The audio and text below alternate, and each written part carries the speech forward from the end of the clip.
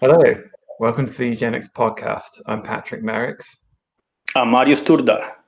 How's it going, mate? It's going very well, thank you. You well? Yeah, very good. Had those amazing storms here in uh, Oxfordshire yesterday, so feel very much cooled down and um, raring to go. So um, today we're talking about the hashtag Black Lives Matter movement. Um, so we're relating it to the history of eugenics, of course. And um, so, so, so, what's this direct relation we have here in this news story? This is this illustrates how new evidence keeps appearing, um, notwithstanding the research that's been done on American eugenics for the past 30 to 40 years. We continue to have new evidence coming up, and this relates to North Carolina's sterilization program uh, and how it directly targeted Black Americans. So within the big debate we have at the moment about equality, social justice, racism, anti-racism, and Black Lives Matters, to have these being um, discussed publicly, it's extremely important. So um, long history of, uh, of eugenics in the United States uh, and sterilization, uh, particularly of the um, Black community. So, what can you tell us about um, this history? Uh, North America is known in the history of eugenics as a, a key promoter of negative eugenics, including sterilization. So, it is uh, the first country in the world that introduced sterilization laws uh, in 1907. So we have that long discussion about sterilization within American context and also within the debate about um, which categories of individuals are most affected by it. Was it criminals? Was it the mentally defective?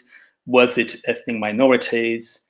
And now we have enough historical evidence to, to suggest that there is a, a, a widespread um, across the 20th century it may have started with criminals and uh, defectives in hospitals and prisons, but it continued to cut across other segments of society. And by the 1930s and 40s, sterilization uh, began to include more and more ethnic minorities. American eugenics was always very keen to uh, emphasize um, its main concern with the white race and the decline of the white race. So, very important American racists like Madison Grant were also important eugenicists. So you have that streak within American eugenics, its preoccupation with the decline of the white race, the protection of the white people. Uh, so within that, uh, you have a number of measures introduced and applied across the country. But increasingly, there is a big discussion, of course, about interracial relations, about segregation, about uh, separatism, and about keeping the two communities apart, the black and the white. So we can see how slowly um, sterilization programs begin to include more and more ethnic minorities uh, during the 30s and 40s. Uh, so we have this example from North Carolina we started with uh, that sterilized about 8,000 people in the 1930s and 40s. And out of 8,000 people, 5,000 of them were Black American, African American. So it's quite a significant number.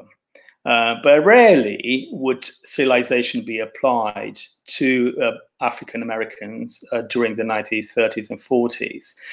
Eugenic programs uh, rather focused on institutionalization, segregation, uh, and sterilization becomes more popular, ironically, after 1950s. So the sterilization of ethnic minorities becomes more popular during the 1950s and 60s. So um, we've seen in previous podcasts that uh, eugenics was related to other movements, um, birth control and feminism, but here it also says there's a connection with um, black emancipation. Um, so what's um, this about?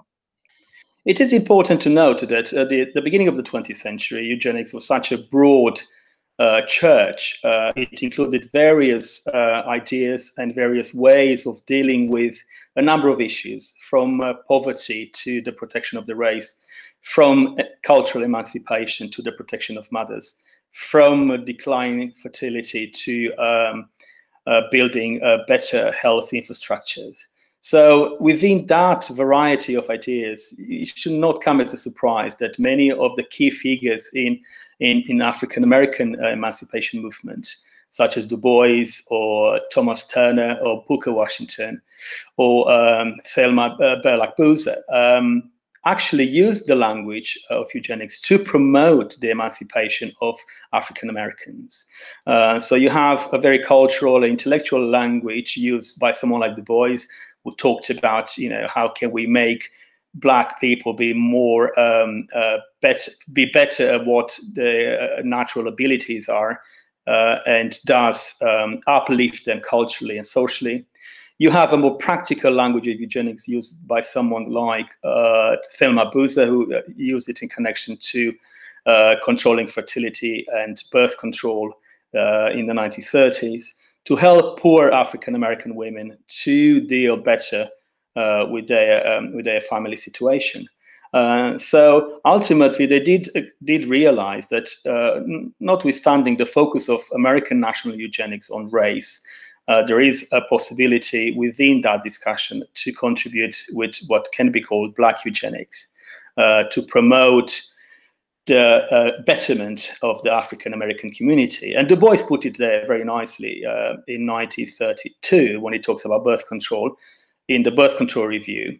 Uh, and he says we need to think about quality, uh, not just quantity. Quality is what matters. So he uses that language and that metaphor to express the possibility of um, social engineering uh, and cultural uh, betterment and improvement.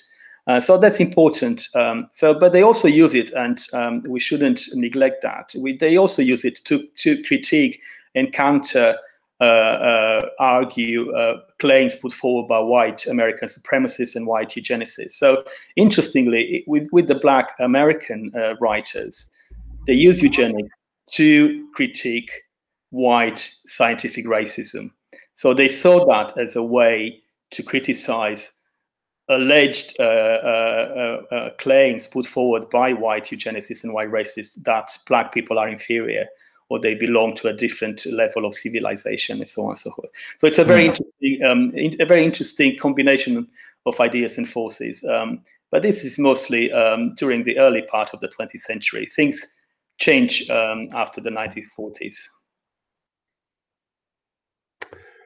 Yeah, so this is um, moving on uh, in uh, chronologically. So we have the connection to um, Margaret Sanger, who's also been in the in the news recently. Um, you know about this. So, um, so what is this um, project? Yeah, that connects to the the discussion uh, um, that happened during the 1930s between Margaret Sanger and her organizations and certain leaders uh, in the African American community to help promote ideas of birth control and contraception amongst uh, African American um, communities, particularly in the South. So this is one project that Sanger initiated, and she got the support of the, uh, the African American leaders but obviously it was done within the racist understanding of the 1930s that of course you would have black ministers and nurses but ultimately birth control could only be um, administered by white doctors uh, and at the family clinics. So the, the, white doctors will always be in a way in a position of power. Uh, so that's a good example to see how there was a, a possibility particularly with respect to birth control and contraception and family planning, for eugenics to intersect with the African American community in a different way than what we've uh, normally know um, that relates uh, uh, to sterilization and segregation and institutionalization. So as we return to the um, the the present day, we're, we're, talking again about this um, North Carolina's role in the in the history. So, um, so how would you like to uh, sort of sort of end this?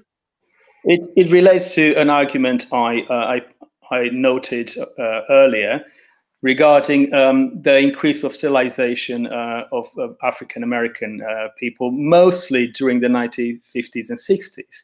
So you have the period of civil rights movement and of dismantling of white control and white power in the South.